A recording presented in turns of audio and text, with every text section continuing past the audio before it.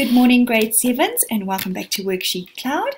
Uh, my name is Mrs. Vauget, and we are going to jump into our lesson today, which is our reading lesson. Um, we're nearly getting to the end of this book, which I think is beautiful and quite a tough um, couple of chapters this morning, quite sad. But just remember, if you've got any questions, you can email me at grade7 at worksheetcloud.com. So let's jump right in. I hope you've got a comfy spot. Um, I'm learning some new things with the Bitmoji and doing a um, Bitmoji virtual classroom. So I hope you are enjoying the little touches I've added. Um, let me know um, and also let me know if there's anything else that I haven't taught yet that you'd like me to teach.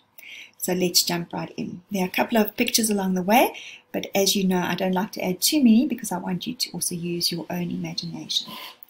So we ended off chapter 12 where they were, um, especially Topthorn was taking a bit of strain, um, losing condition and obviously strength, and it's just due to the effects of war. So here we go. So Topthorn came into that spring weakened severely by his illness and still with a husky cough. But he had survived. We had both survived. There was hard ground to go on now, and the grass grew once more in the field so that our bodies began to fill out again, and our coats lost their winter raggedness and, sun, and shone in the sun. The sun shone too on the soldiers, whose uniforms of grey and red stayed cleaner. They shaved more often now, and they began, as they always did, every spring, to talk of the end of war and about home and about how the next attack which would finish it and how they would see their families again soon.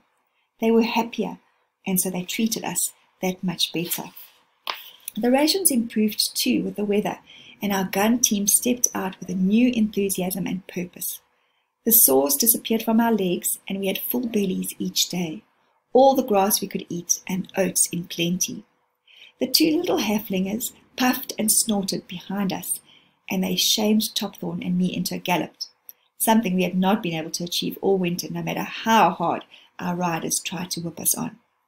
Our newfound health and the optimism of the singing, whistling soldiers brought us to a fresh sense of exhilaration as we rolled our guns along the pitted roads into position. But there were to be no battles for us that summer. There was always sporadic firing and shelling, but the army seemed content to growl at each other and threaten without ever coming to grips.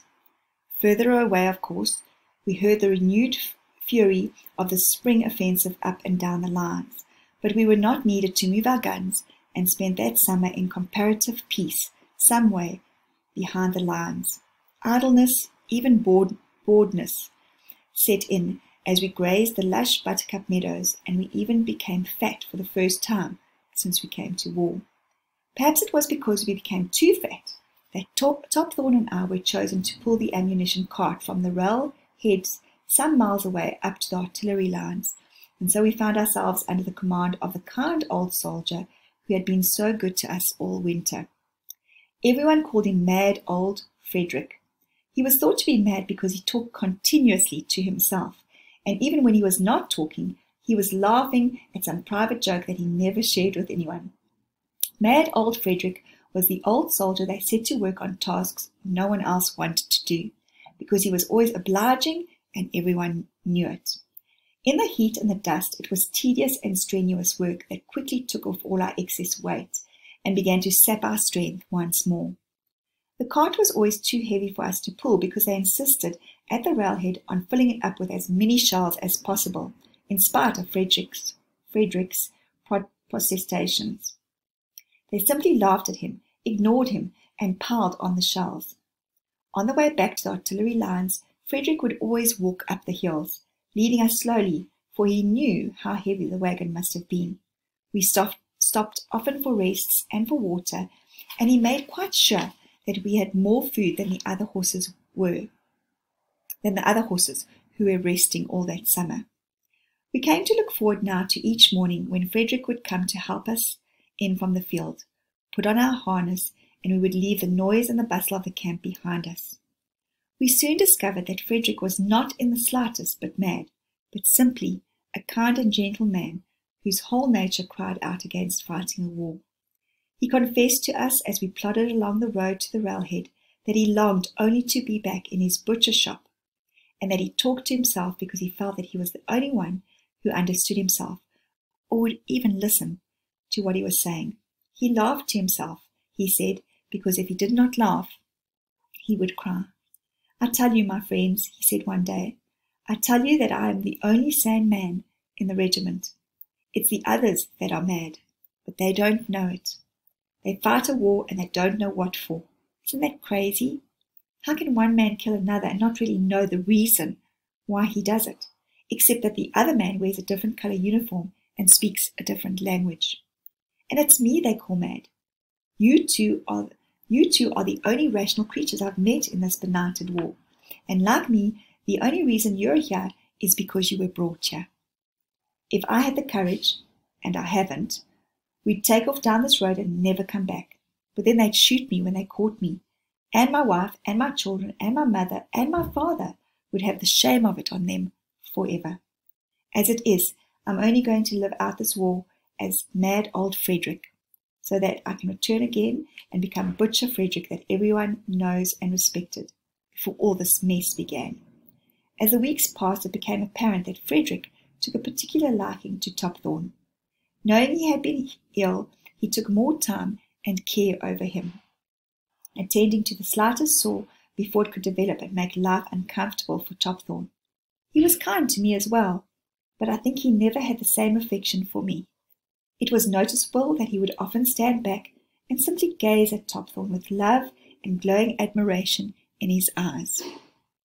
There seemed to be an empathy between them, that of one old soldier to another. The summer passed slowly into autumn, and it became clear that our time with Frederick was coming to an end. Such was Frederick's attachment to Topthorn by now that he volunteered to ride him out the gun team exercises that were to precede the autumn campaign. Of course, all the gunners laughed at the suggestion, but they were always short of good horsemen, and no one denied he was that. And so we find ourselves the leading pair once again, with mad old Frederick riding up on Topthorn. We had found at last a true friend, and one we could trust implicitly. If I had to die out here away from my home, Frederick confided in Topthorn one day, I would rather rather die alongside you but I'll do my best to see to it that we all get through and get back home. That much I can promise you. Chapter 14 So Frederick rode with us that autumn day when we went to war again. The gun troop was resting at midday under the welcome shade of a large chestnut wood that covered both banks of a silver glinting river that was full of splashing and laughing men. As we moved in amongst the trees and the guns were unhitched, I saw that the entire wood was crowded with resting soldiers, their helmets, packs, and rifles lying beside them. They sat back against the trees smoking, or lay out flat on their backs and slept. As we had come to expect, a crowd of them soon came over to fondle the two golden Haflingers, but one young soldier approached Topthorn and stood looking at him, his face full of open admiration. Now there's a horse, he said, calling his friend over Come and look at this one, Carl. Have you ever seen a finer looking animal? He has the head of an Arab. You can see the speed of an English thoroughbred in his legs and the strength of a Hanoverian in his back and his neck. He has the best of everything. And he reached up and gently rubbed his fist against Topthorn's nose. Don't you ever think about anything else except horses, Rudy? said his companion, keeping his distance.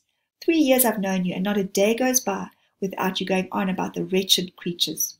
I know you were brought up with them on your farm, but I still can't understand what it is that you see in them.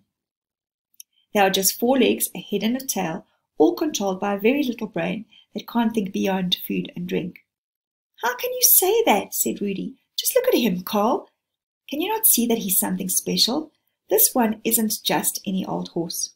There's a nobility in his eye, a regal serenity about him. Does he not personify all that men try to be and never can be?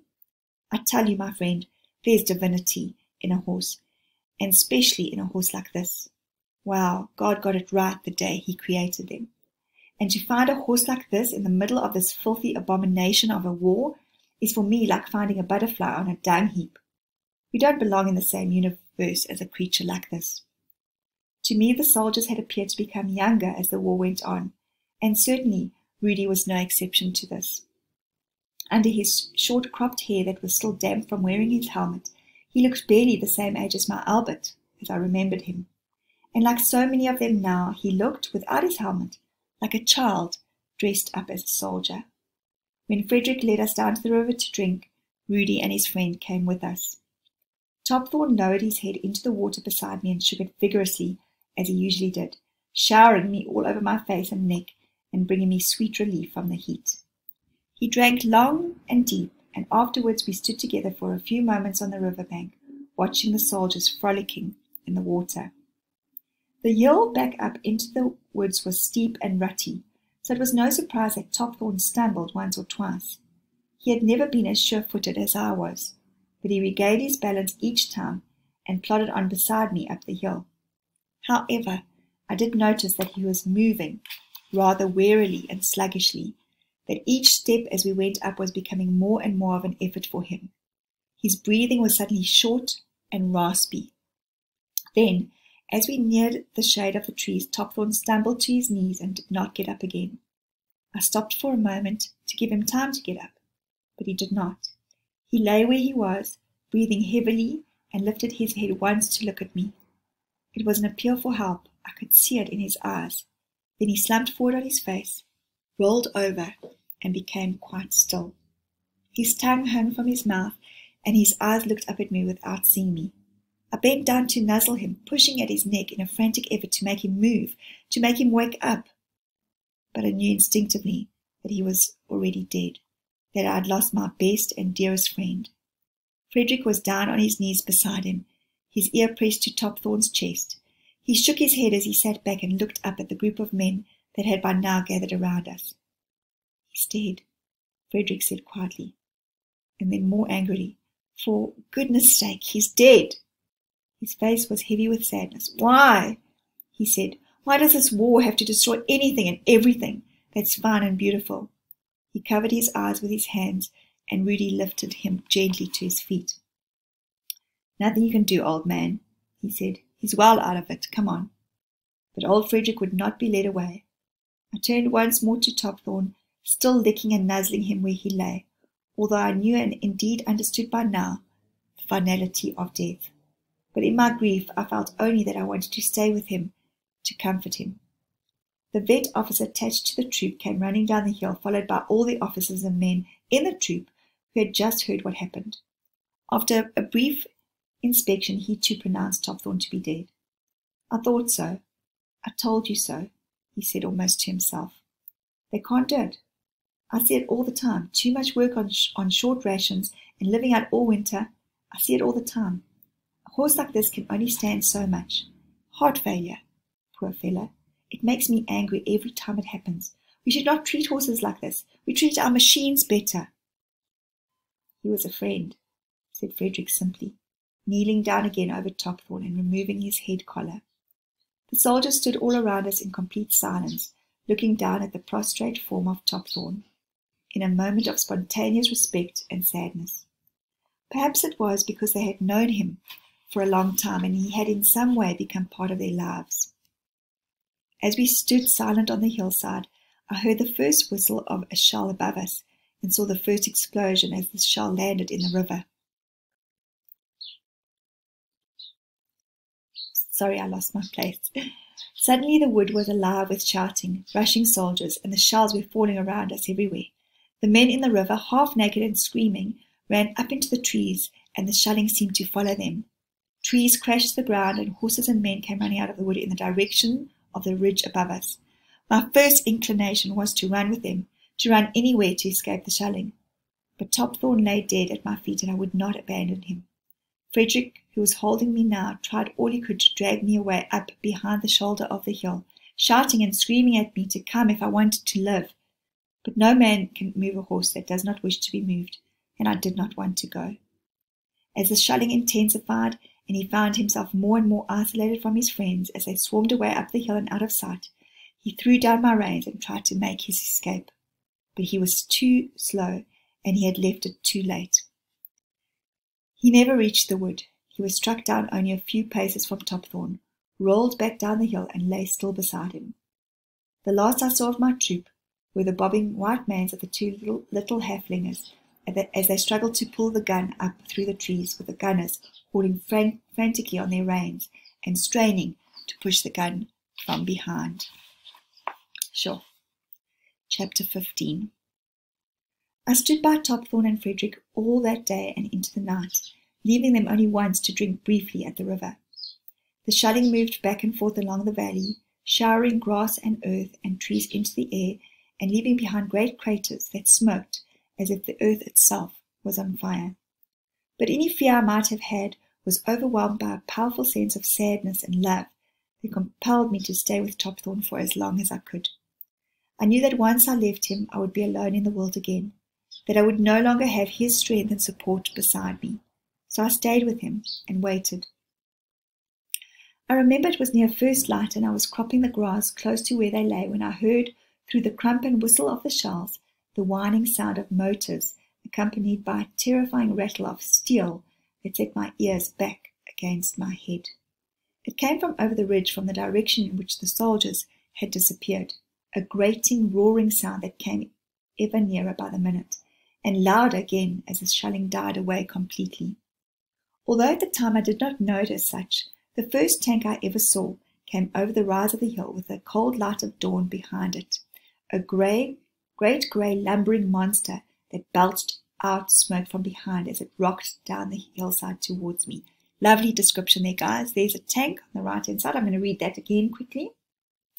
It was a grey, great lumbering monster that belched out smoke from behind as it rocked down the hillside towards me.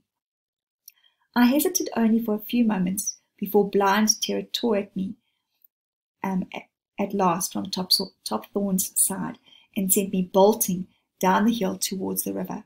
I crashed into the river without even knowing whether I should find my feet or not, and was halfway up the wooded hill on the other side before I dared stop and turn to see if it was still chasing me. I should never have looked, for the one monster had become several monsters, and they were rolling down towards me, already past the place where Topthorn lay with Frederick on the shattered hillside.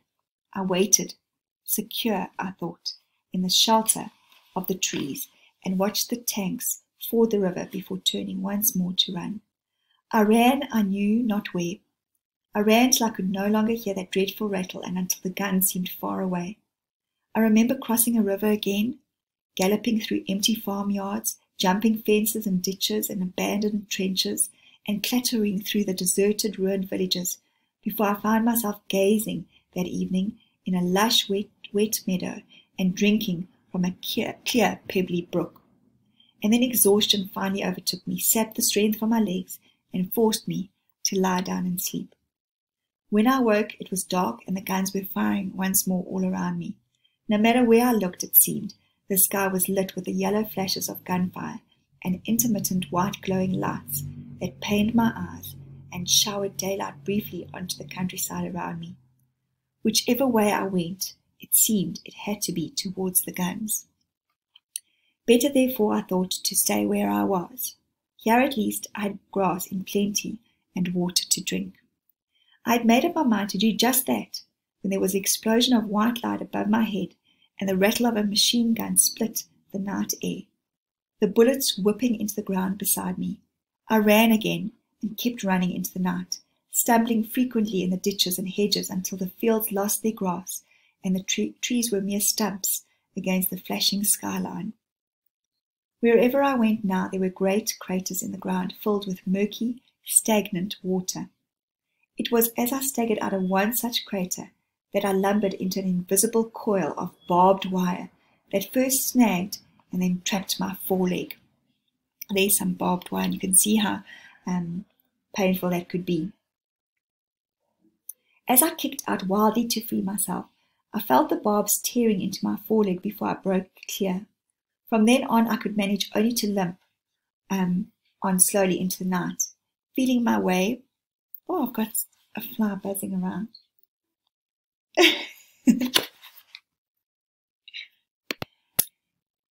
Even so, I must have walked for miles, but where to and where from I shall never know.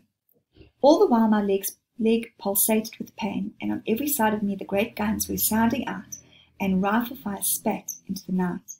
Bleeding, bruised, and terrified beyond belief, I longed only to be with Topthorn again.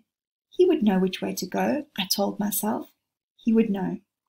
I stumbled on into the night, guided only by the belief that where the night was at its, at its blackest, there alone I might find some safety from the shelling. Behind me, the thunder and lightning of the bombardment was so terrible in its intensity, turning the deep black of night into unnatural day, that I could not contemplate going back, even though I knew that it was in the direction that Topthorn lay. There was some gunfire ahead of me and on both sides of me, but I could see away in the distance a black horizon of undisturbed night, and so moved on steadily towards it. My wounded leg was stiffening up all the time in the cold of night, and it pained me now even to lift it. Very soon I found I could put no weight on it at all. This was going to be the longest night of my life, a nightmare of agony, terror, and loneliness. I suppose it was only a strong instinct to survive that compelled me to walk on and kept me on my feet. I sensed that my only chance lay in putting the noise of the battle as far behind me as possible, so I had to keep moving. From time to time, rifle fire and machine gun fire would crackle all around me, and I would stand paralyzed with fear, terrified to move in any direction until the firing stopped, and I found my muscles could move once more. To begin with, I found the mists hovering only in the depths of the craters I passed, but after some hours I found myself increasingly surrounded in a thick, smoky autumn mist through which I could only see the vague shades and shapes of dark and light around me. Almost blinded now, I relied totally on the ever more distant roar and rumble of the bombardment, keeping it all the time behind me and moving towards the darker, more silent world ahead of me. Dawn was already brightening the gloom of the mist when I heard the sound of hushed, urgent voices ahead of me. I stood quite still and listened, straining my eyes to find the people to whom they belonged. Stand to, get a move on, get a move on, lads. The voices were muffled in the mist. There was a sound of rushing feet and clattering rifles. Pick it up, lad, pick it up. What do you think you're about? Now clean that rifle off and do it sharpish. A long silence followed, and I moved gingerly towards the voices, both tempted and terrified at the same time. There it is again, Sarge. I saw something, honest I did. What was it then, son? The whole German ruddy army, or just one or two of them out for a morning stroll? Weren't a man, Sarge, not even a German neither. Looked more like a horse, or cow to me. A cow or a horse? Out there in no man's land? And how the blazes do you think it got there? Son, you've been staying up too late. Your eyes is playing tricks on you. I heard it too, Sarge, and all. Honest, Sarge, cross me heart. Well, I can't see nothing. I can't see nothing, son, and that's 'cause there's nothing there. You're all of a jitter, son, and your jittering has brought the whole ruddy battalion on stand to half an hour early. And who's going to be a popular little, lad when I tell the lieutenant all about it? Spoiled his beauty sleep, haven't you, son? You gone and woken up all them lovely captains and majors and brigadiers and all of them nice sergeants and all, just 'cause you thought you seen a flaming horse.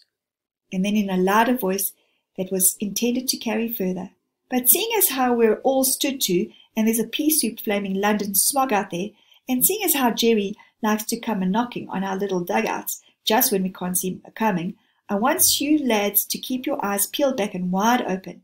Then we'll all live to eat our breakfast. If it's on this morning. There'll be a rum ration coming round in a few minutes. That'll light you up. But until then, I want every one of your eyes skinned. As he spoke, I limped away. I could feel myself shaking from head to tail in dreadful anticipation of the next bullet or shell, and I wanted only to be alone, away from any noise whatever, whether or not it appeared to be threatening. In my weakened, frightened condition, any sense of reason had left me, and I wandered now through the mists until my good legs could drag me no further. I stood at last, resting my bleeding leg on a soft, fresh mound of mud beside a foul smelling, water filled crater, and I snuffled the ground in vain for something to eat.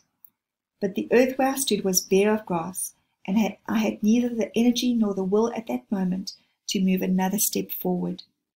I lifted my head again to look about me in case I should discover any grass nearby, and as I did so, I felt the first sunlight filter in through the mist and touched my back, sending gentle shivers of warmth through my cold, damp body. Within minutes, the mist began to clear away, and I saw for the first time that I stood in a wide corridor of mud, a wasted, shattered landscape between two vast, unending rolls of barbed wire that stretched away into the distance behind me and in front of me. I remembered I had been in such a place once before, that day when I had charged across it with Topthorn beside me.